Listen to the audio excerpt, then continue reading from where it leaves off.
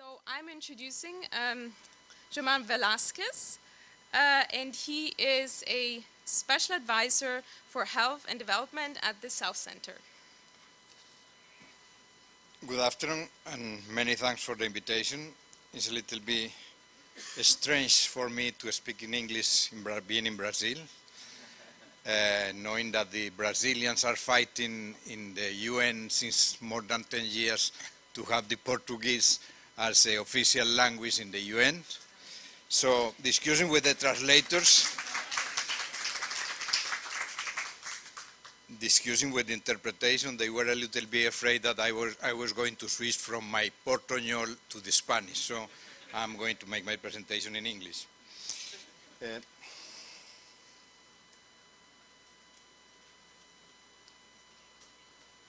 I'm going to touch uh, four points.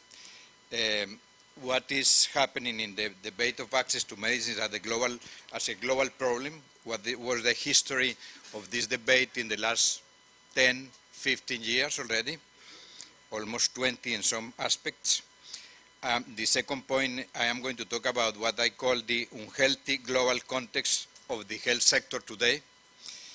The third point, the increase in the number of players in access to medicines, and at the end, some conclusions and ideas. I will disagree a little bit with the first speaker that was putting the Bellagio and the Rockefeller as the origin of the debate on access to drugs. I think that they were, they were helping. I, I know very well Anthony So, the persons that were mentioned here, but I think that the, the originators of this debate were people living with HIV in Africa, in South Africa in particular, in 2000, and people living with HIV in Brazil, in Sao Paulo, when they forced the government to have the, the, uh, the treatment for free.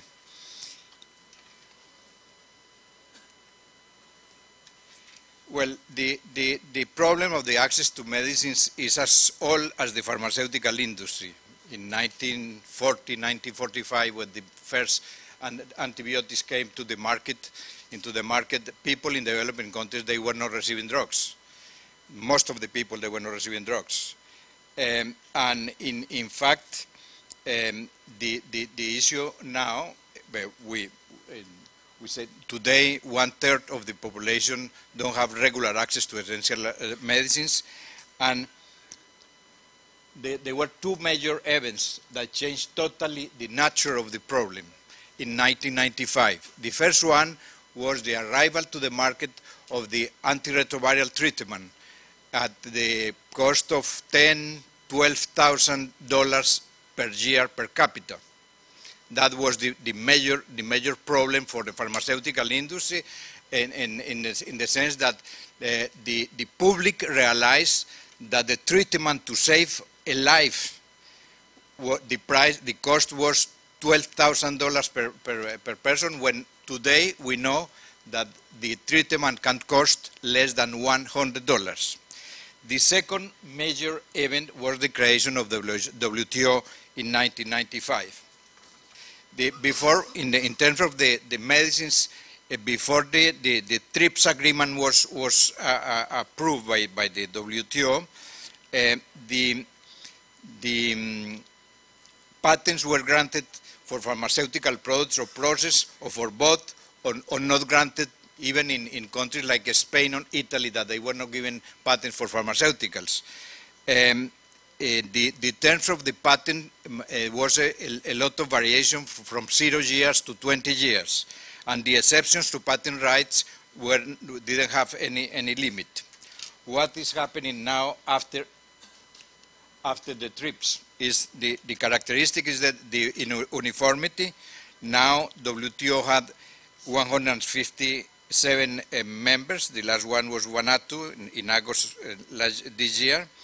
Um, and, and all members of WTO, they have to give patents for process and products for pharmaceutical products. Now the situation is the minimum, the minimum of patent protection is 20 years, and you know, we know, we saw this morning, Gopa Kumar was, was mentioning what was the, the, the impact of the patent protection and monopolies on the drug prices, and, and the, the, the, the compulsory license is, is limited by, by certain conditions that are stipulated in the Article 31st of the, of the TRIPS agreement. Let's try to summarize what are the, the main problems of the current system, of the current model through the, to the patent system. First, the drugs, saving drugs, they are commodities and not uh, public goods. The second problem is because the model, the research agenda, is focused in the possible markets and not in the real pro health problems.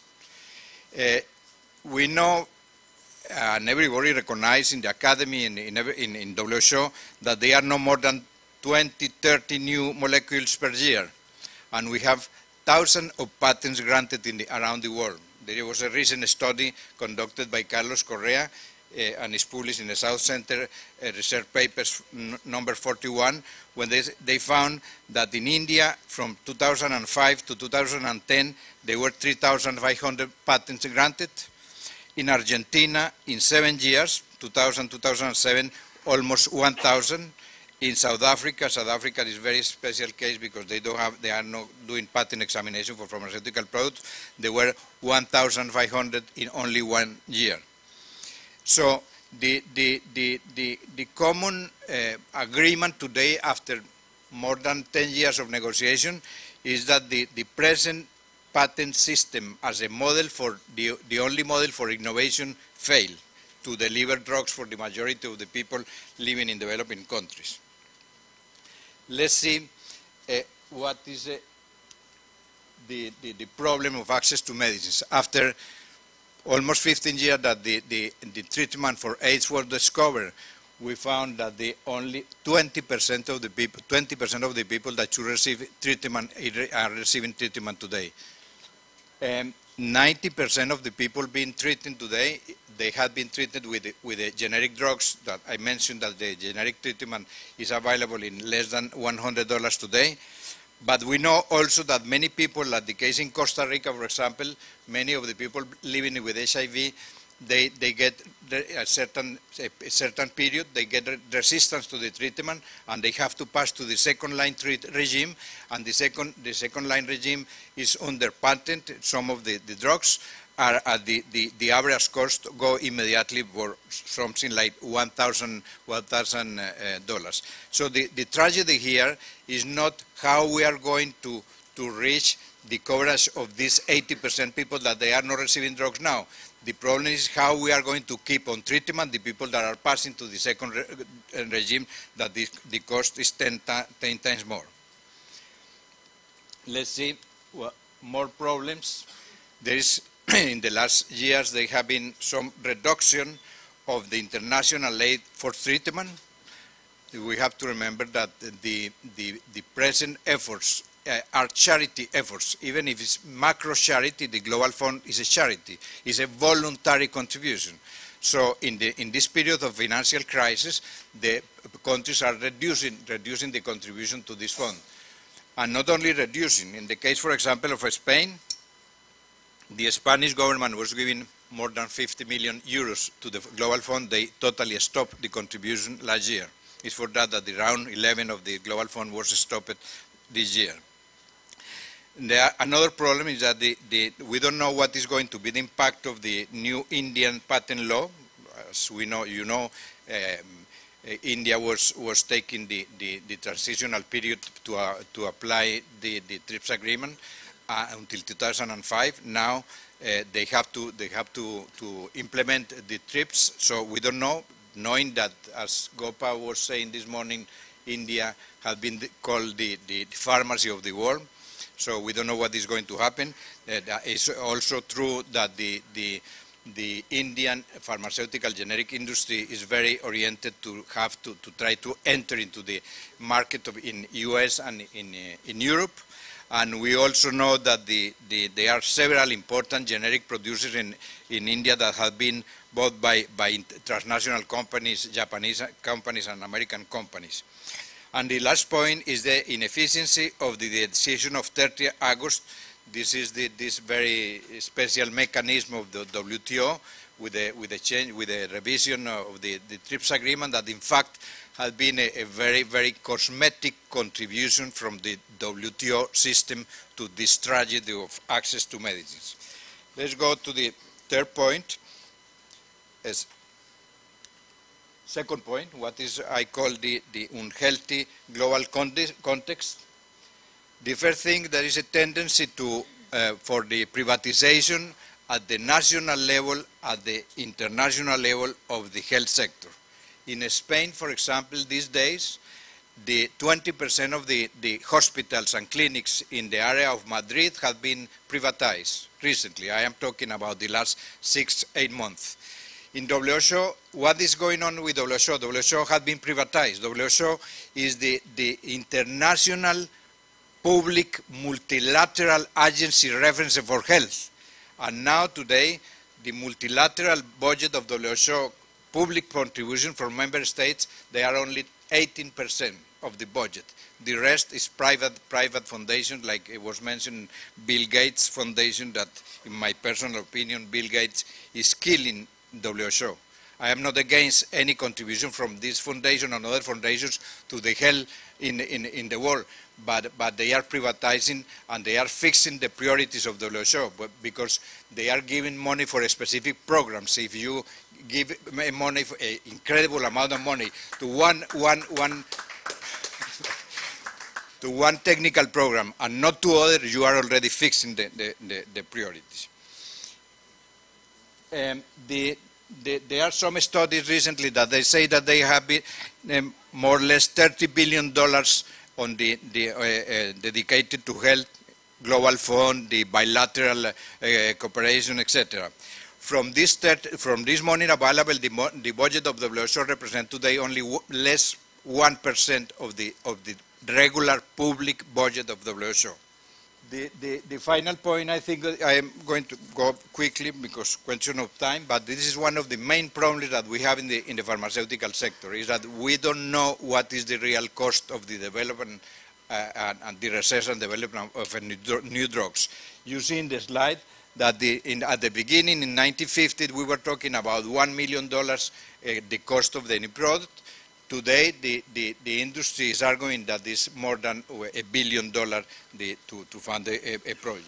There is a, a recent, in, in, February 11, um, 2011, there was a, research made by the, by the was a publication uh, by the London School of Economics, where the authors they were arguing that the, the research of a new drug cost between 13 and 200 million dollars, depends on the, the, the, kind of drug, and the average will be 43 eh, million dollars for a new product when the, the industry is arguing that it's more than a billion. So there is a problem here. And, and there is a problem here when you see the, all these PPPs that we have been talking and talking in the last 10 years, the public and private partnership to, to, to make research and development, you cannot put public money in something that you don't know the cost. It's exactly what is happening today with the money given by the, by the, by the Gates Foundation to Glaxo for the, for the research on the, the, the vaccine, the vaccine for, for malaria. Uh, what is going to be the price if we don't know uh, what is the real cost that they are, they are putting uh, in that. Uh, Okay, that, this uh, um, part of the unhealthy, on the, the, unhealthy environment is also this, this investigation made by the European um, uh, Union. Um, they found, for example, they, uh, they, in the, from, they investigate from 2000, 2000 until 2007, and they found that one product can, be the, can, can have more than 1,000 patents. So, so at the very end, patents that were supposed to be to stimulate research, now patents are blocking the research because you are looking for something and you see that this thing here is, is patented that you are going to violate so, so, and you can go for a litigation and every litigation in the pharmaceutical sector, the average cost is between three or four million dollars. There is no, no, any, any small generic company in the developing world that can go for this kind of litigations. The, and they found also that the, the, the, litigations were multiplied by, by four in, in, in the European Union, and you see in the last time what was the cost uh, for the for the um, uh, for the public sector in, because the delay of the new drugs, the generic drugs entering into, the market. The last point of the, the, the very unhealthy environment was the management of this so-called pandemia H1N1. You know, from the, the, the normal flu that we have every year in, in the, in the, in, in, in, during, the, during the winter, there are half a million people are dying. This is the estimation. Half million are dying from the normal flu that we have every year. From the, the H1N1, according to the, the report of WHO, there were 18,000 people that uh, died from, from this pandemic.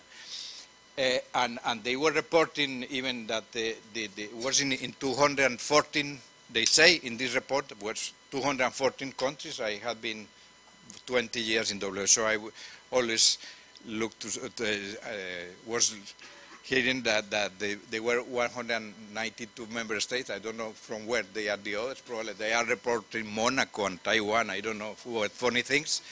You saw also that the WSO was reporting every day, country by country, the deaths for the pandemic. Well, in, in, in malaria, cancer, AIDS, they are not reporting country by country, day by day. So there was some commercial interest behind the, the whole thing. Last comment on the, the, the, the management of the H1N1 by the WHO and the industrialized, the ministers of health and government of the industrialized countries.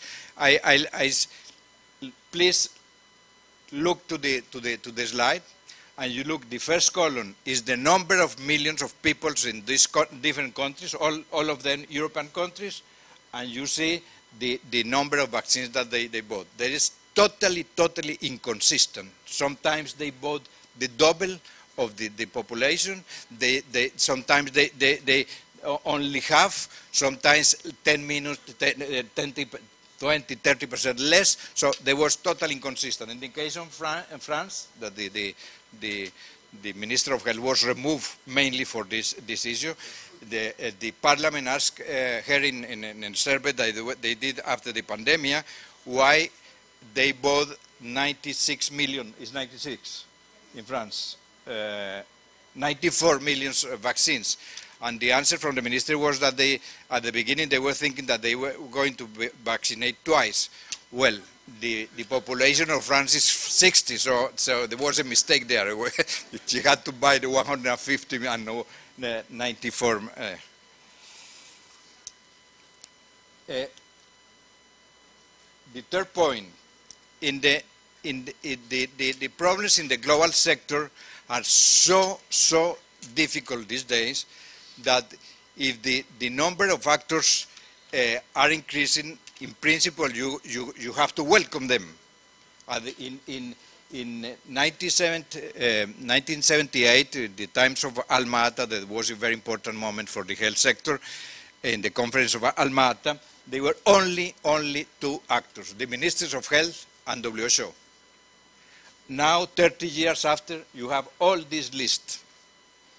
And if you see all these lists, including the 80 PPPs on health, there are all, all of them, all of them, they are concentrated in three diseases. So what is going on in cancer, what is going on on diabetes, what is going on in, in the rest of the things, there is no funding for that. Even after the declaration in the summit in New York last year, when they say that people in developing countries are not uh, dying only by, uh, from, from, uh, from AIDS.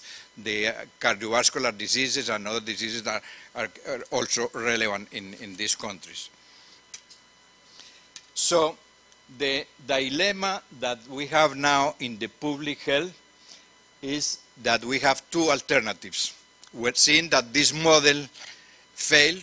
We have two alternatives. To continue to work in the way that the WHO has been working in the last 60 years, passing recommendations that any, nobody knows in, at the country level, and they are not, they, they, they are voluntary resolu- resolution, that we, we are going nowhere with the continuing. The only probably, the only way will be to try to, to negotiate a, a binding treaty on how to fund. Uh, Gopa Kumar made the reference this morning to the, this, this, this treaty that has been negotiated with a lot of difficulties already since three or four years. Jimmy, Jimmy Love uh, mentioned also the treaty. I think that the, the, the, the Article 19 of the Constitution of WHO uh, say is a very short article saying that the, the, the WHO, the World Health Assembly, have the, the authority to negotiate binding treaties and, and conventions that uh, after ne- negotiated in Geneva, they have to pass through the parliaments and become a, a real law. And, and this was, the, you, uh, the, this article, the Article 19 of the WHO was used only once in the history of the WHO, that was the Tobacco Convention, and you every knows, knows very well what is the efficacy of this, this the convention. So, some conclusions. I think I, I, I said several times already that the present model for to, do, to, to develop the and to research and develop drugs fail. We have to look for, for, for other uh, models and systems, and I think it will be important to try to push um, the, the, the start of the negotiation for the, for the binding treaty. And I was very impressed uh, this morning, and I learned a lot about uh, the presentation this morning because uh, it's very impressive how the civil society and the academy managed to, to reject ACTA. And I think that now in the health, in the health sector, we need people like you, absolutely, otherwise this, this, this treaty is not going to start. And I am going to, to, to end with this, with. From 84, uh, 48 to uh, uh, 78, the, the health sector was in the hands of medical doctors. From 78 to 2000, the World Bank said that the, the, the, the, the health is a market and the issue was in the hands of economists. Now, today, is in, I think that the majority here in this room are, are lawyers. The health sector is in, the, in, the, in your hands. Thank you very much.